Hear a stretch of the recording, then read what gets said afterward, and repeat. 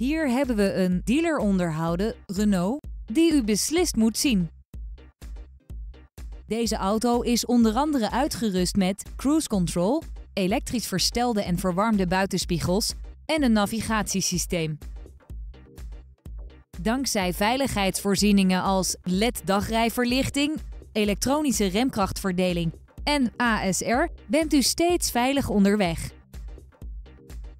Bij de uitrusting vindt u ook een start-stop systeem, parkeersensoren achter en 16-inch lichtmetalen velgen.